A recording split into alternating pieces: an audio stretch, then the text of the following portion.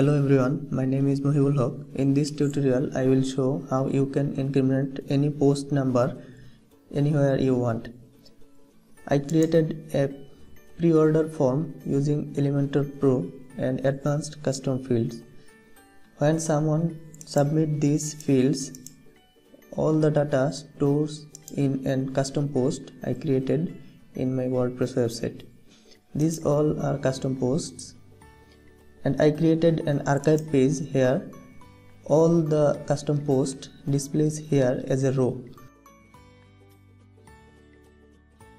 So I want numbering here like post number 1 will be displayed as 1 post 2 here will display 2 here 3 I tried both with Elementor and ACF to add serial number here but I did not find any easy solution for this so I tried my own created loop and it matched everything.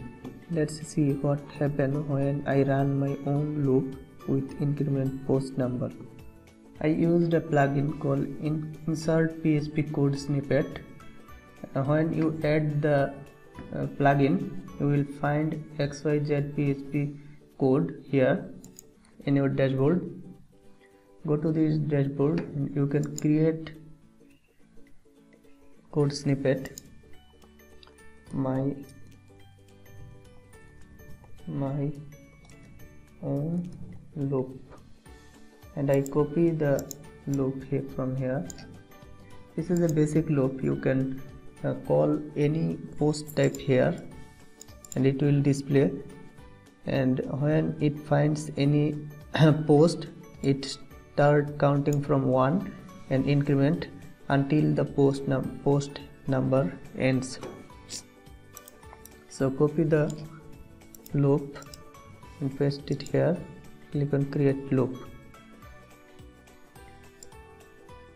Copy the short code and I will add it here. To add it open the theme editor this is the order page loop in Elementor. I will edit and edit.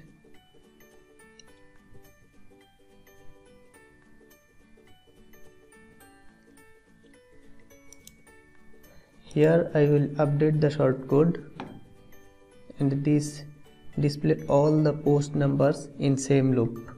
If I update this and reload it. This comes with all the number comes with post 1 and post 2 and post 3 so this is really annoying and I finally find a solution. Now I will show how I solved it. So I will delete this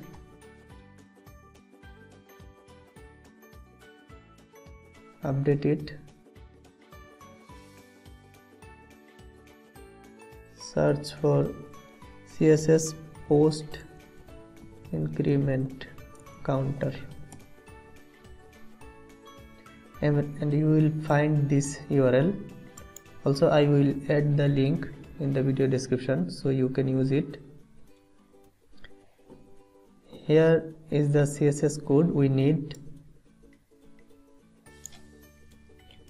let's see what happened with this code. When you add this code and this find same uh, selector it repeats with 1 2 3 4 5 6 so i will use this code copy this one and come to your loop page here I will add a text field. Remove all the text. I will leave it blank and just add a class here. So class post increment. Post increment. And I will hit the update button now from the appearance go to customize section and add the css here.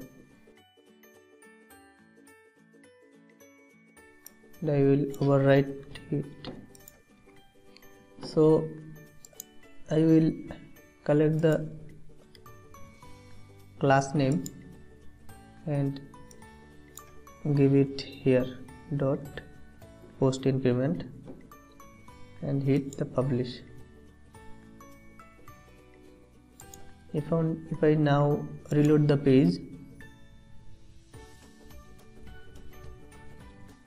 this shows section 1 section 2 section 3 so I will customize it again and remove the words section.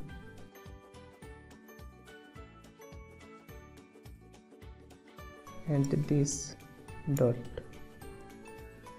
Hit the publish again